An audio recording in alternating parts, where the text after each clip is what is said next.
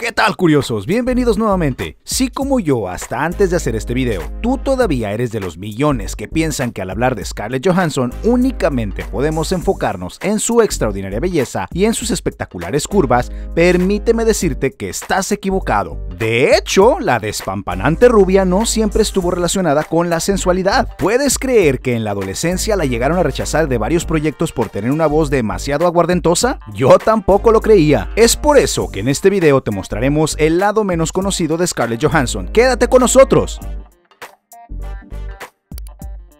Sí, sabemos que en la actualidad la nacida en Nueva York el 22 de noviembre de 1984 es el sueño inalcanzable de millones, incluido su humilde servidor. Y es que podrá o no parecerte una buena actriz, pero la verdad es que la enorme mayoría de nosotros no vemos sus películas precisamente por contemplar sus dotes histriónicos. Ustedes me entienden. Sin embargo, la innegable belleza y sensualidad femenina de Scarlett no fue siempre su mejor tarjeta de presentación. La actriz de 34 años mostró interés en el mundo de la actuación desde pequeña, no obstante, durante su adolescencia tuvo problemas y le cerraron varias puertas para participar en campañas publicitarias juveniles, pues consideraban que tenía una voz demasiado ronca. Jamás se habrían imaginado que años más tarde sería justamente su voz y nada más lo que nos enamoraría a nosotros, a Theodore Twombly y a otros muchos supuestos usuarios en la cinta Ella de 2013. Pero no solo eso, sino que Johansson además ha probado suerte en el ámbito musical, pues en 2008 sacó su primer álbum de estudio al lado del músico Pete Yorn,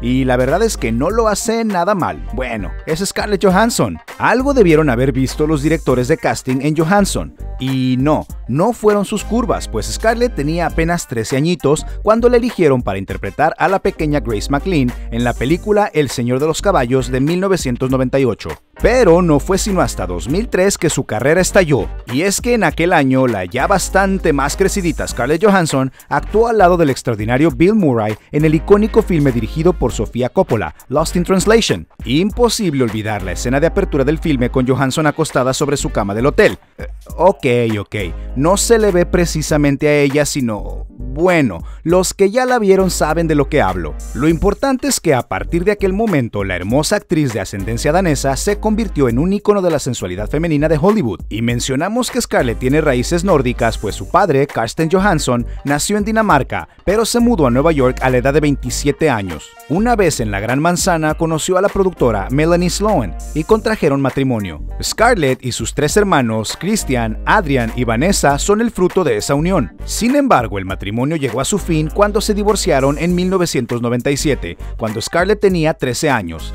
La gran belleza y el enorme talento de la rubia la hacen una de las mujeres más atractivas para muchos caballeros. Tanto así que uno de los actores más cotizados de la industria, el simpático Ryan Reynolds, logró llegar con ella hasta el altar en septiembre de 2008. Sin embargo, al parecer, el actor no la hizo reír demasiado, o quizá la haya hecho reír de más al no tomarse tan en serio la relación y se divorciaron dos años después, en 2010. Pero además del divertido actor, a Johansson también se le ha relacionado con Sean Penn y George Hartnett. Eso sin mencionar aquella pecaminosa leyenda urbana de ella y Benicio del Toro haciendo eh, travesuras en un elevador. La sensual rubia encontró de nuevo el amor en el empresario francés Romain Duriac. La pareja contrajo matrimonio en 2014 y al poco tiempo anunciaron el futuro de su bebé. Así, la pequeña Rose Dorothy Doriak Johansson, la gran adoración de Scarlett, llegó a este mundo el 30 de agosto de 2014. Por cierto, un dato curioso es que la guapa actriz reveló en meses pasados en el programa de Ellen DeGeneres que la pequeña Rose cree que su mamá es el personaje de Black Widow y no la simple Scarlett Johansson, si ustedes me permiten usar ese sacrílego adjetivo. Por desgracia, en 2017, Scarlett y Roman decidieron poner fin a su matrimonio.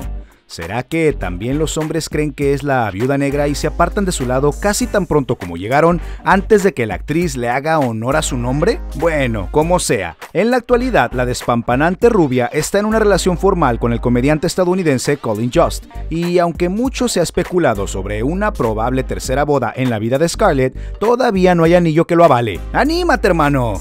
¿A poco no crees que vale la pena la mordedura de esa sensual arañita? En lo referente a los números de Scarlett, su carrera en la industria cinematográfica, musical, en el modelaje y ahora también como directora fílmica le han generado una fortuna estimada en 140 millones de dólares, lo que la ha posicionado en varias ocasiones en la lista de Forbes de las 100 mujeres más adineradas de la industria. Caray, sin duda ella es una mujer redonda, eh, no en el sentido estricto de la palabra, obviamente. Pero bueno, se suponía que no hablaría de sus curvas. Pero es que es imposible. ¿Ustedes qué piensan, curiosos? ¿Les gusta Scarlett Johansson como actriz? ¿Creen que la tercera será la vencida con Colin Just? No olviden suscribirse a nuestro canal y checar todo nuestro contenido que de seguro les encantará. Hasta la próxima.